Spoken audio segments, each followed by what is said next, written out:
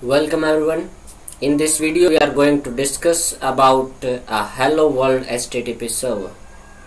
Welcome everyone. In this video I will discuss how to create a very simple HTTP server that will print hello world onto the browser window.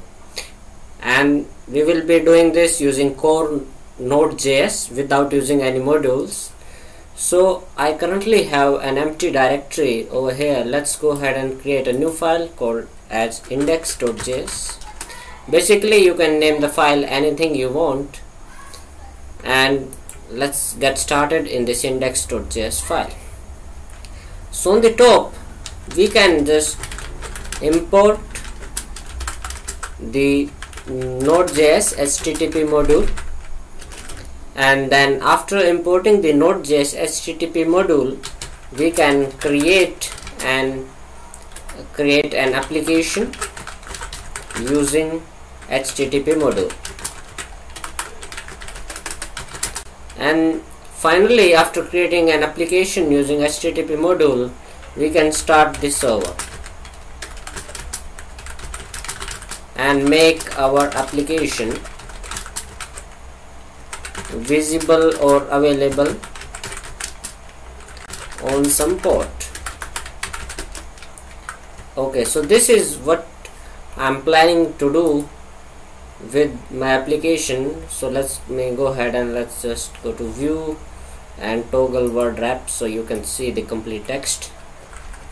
And this will be the idea of the complete application that we will be following and we will be creating it using node.js okay let's get started and let's work on the importing the module.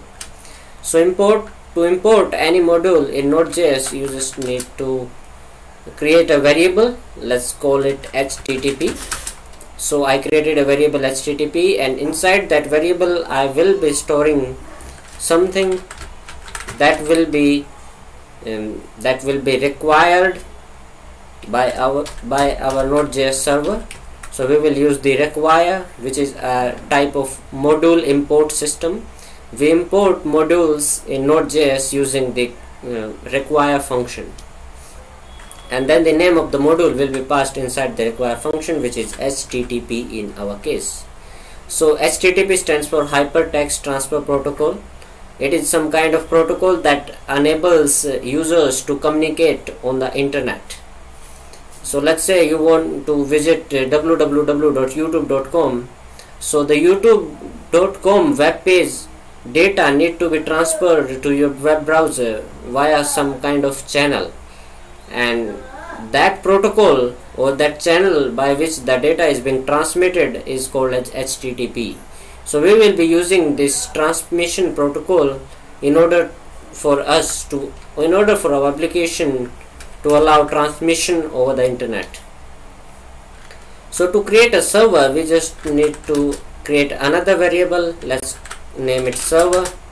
And in this variable server we will be storing the result from http is uh, some kind of object that has properties such as create server so using the create server we can just go ahead and create a simple node.js server. Now the create server is a function which will take a callback and let's say we get a callback. And as a callback we will be getting mm, two things. One will be a request object and another one will be a response object so this will be our server. We create our server with the http dot create server function. And then create server function will take a callback which is which will provide us with a request and a response object. The request object contains information about the user's web browser or the session which the user has initiated. Let's say the user visits our web browser so the request sent by the web browser is present inside this request object. And any details that we want to send back to the web browser will be provided by via the response object. So let's uh, for the simple thing let's return the response dot end and let's write the hello world as an example